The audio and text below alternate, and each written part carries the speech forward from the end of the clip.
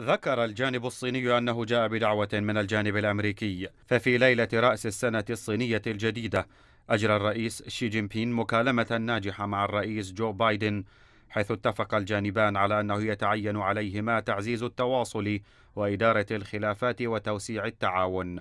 حيث سيكون لذلك أهمية إرشادية مهمة لتطوير العلاقات الصينية الأمريكية في المستقبل. كما أشارت الصين إلى أنها ستنتهج بحزم سياسة خارجية مستقلة قائمة على السلام وستتمسك بطريق التنمية السلمية وأنها على استعداد للعمل مع الولايات المتحدة للحفاظ على التعددية الحقيقية في آلية متعددة الأطراف تمثلها الأمم المتحدة. وأكد الجانب الصيني أن جوهر العلاقات الصينية الأمريكية هو المنفعة المتبادلة والفوز المشترك.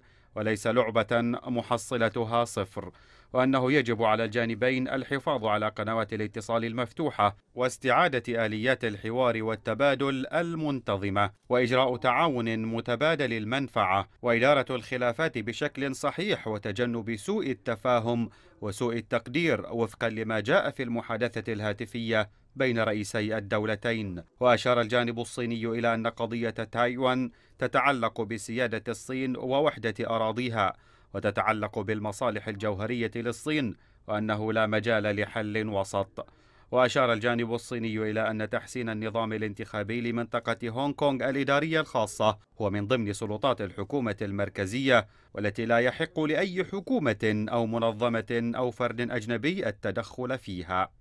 وأشار الجانب الصيني إلى أن الصين تأمل في أن يحترم الجانب الأمريكي الحقائق الموضوعية وأن يوقف مهاجمة وتشويه سياسة الصين المتعلقة بمنطقة سينجيانغ وأن يتخلى عن المعايير المزدوجة في قضايا مكافحة الإرهاب.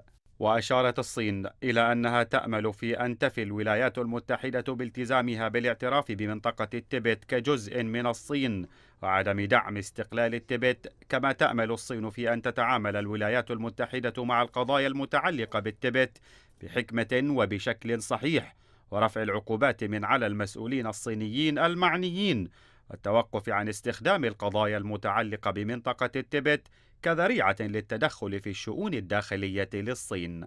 واتفق الجانبان على الحفاظ على الحوار والتواصل وإجراء تعاون متبادل المنفعة ومنع سوء التفاهم وسوء التقدير وتجنب الصراع والمواجهة وتعزيز التنمية الصحية والمستقرة للعلاقات الصينية الأمريكية وفقا لما جاء في المحادثة بين قادة الجانبين مع الأمل في مواصلة هذا الاتصال الاستراتيجي رفيع المستوى. إضافة إلى ذلك يلتزم الطرفان بتعزيز الحوار والتعاون في مجال تغير المناخ حيث يقوم الطرفان بإنشاء مجموعة عمل مشتركة بين الصين والولايات المتحدة بشأن التغيرات المناخية أكدت الولايات المتحدة من جديد تمسكها بسياسة الصين الواحدة بشأن قضية تايوان. وناقش الجانبان الترتيبات المتبادلة لعملية التطعيم بلقاح كوفيد-19 للموظفين في السلك الدبلوماسي والقنصليات.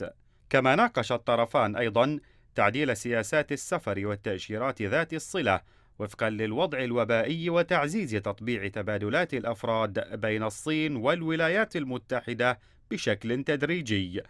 كما ناقش الجانبان أيضا سلسلة من القضايا الدولية والإقليمية الرئيسية ذات الاهتمام المشترك واتفقا على الحفاظ على الاتصال والتنسيق وتعزيزهما في آن واحد. وقد أعرب الجانبان كذلك عن أنهما سيعززان التنسيق والتشاور حول الأنشطة متعددة الأطراف مثل أنشطة مجموعة العشرين ومنظمة أبيك.